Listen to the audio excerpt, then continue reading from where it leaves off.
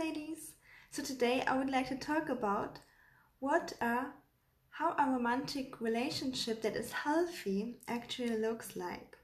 So that relates a little bit to the post I have done yesterday, how a healthy high value man in opposite to a low value man uh, behaves. And today I would like to take it further and share how a healthy relationship would uh, look like. And um, so many of you already know that um, I'm a big fan of uh, feminine and masculine energy, and that um, romance and attraction, especially in um, a romantic relationship, is being created when the feminine um, woman, so uh, my followers and I, um, consciously choose to be the feminine um, woman. So um, the attraction creates when she's the feminine and he's um, stepping up to be the masculine masculine role in the relationship. And um, I'll be honest with you that I've been a long time confused what a masculine, healthy masculine man looks like because I did not have any good role models, and uh, what society and the movies taught me was to fall for the bad guys. So that was, um, yeah, not quite the best.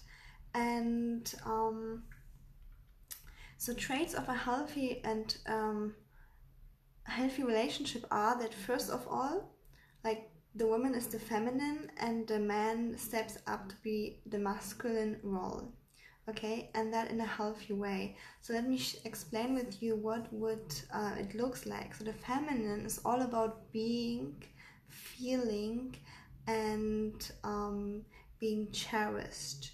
So um, she's the one who is the prize. She's the one who is pursued. And she's the one who is being cherished. So i have shared with you in other live streams that um, I used to hide from men who would chase me and want to like come close to me because I thought it's dangerous.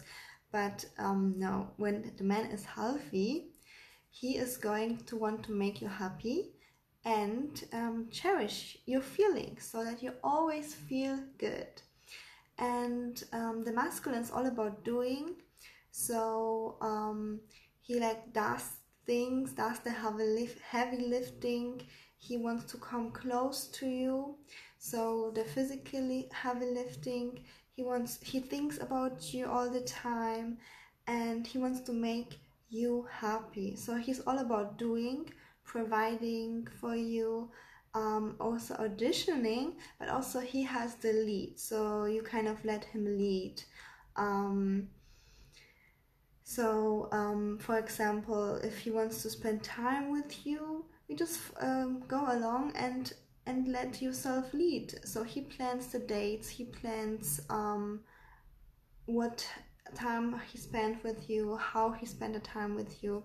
So you let him lead the relationship but you yourself lead your own life. So when you're by yourself only alone without the guy you have both feminine and masculine energy and you lead your own life. So when he doesn't give you any attention you are not um, dependent on that. You can give yourself your attention and you can uh, definitely um, meet other people and have fun. So when he's not there you just live your life. You have fun and um, when he is coming towards you he texts you he calls you he wants to meet you then you let him initiate and you let him lead so that is kind of healthy. And if you have any questions towards that topic, I would love, love to answer to answer them.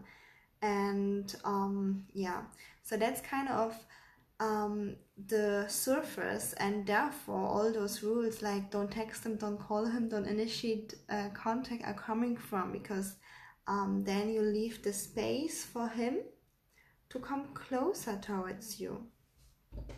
And I remember even um, one guy I'm dating, he asked me lately, well, um, when I'm doing everything, because I explained this topic to him too, well, what are you doing? and I shared with him, well, the feminine, she is the inspiration for the masculine to move mountains for her. So when the man has the right woman, she is giving him the energy, and he has the energy to work, to provide for her, to take care of her, to cherish her and the children. And um, that is priceless. It's like the gasoline in the car, right. So the car isn't uh, running without the gasoline. So the energy is equally important, even when maybe we cannot see it in manifestation. Yeah. So I think these are the um, core um, assignments, uh, core values that um, describe a healthy relationship. Other than that, um, I will continue talking in another live stream.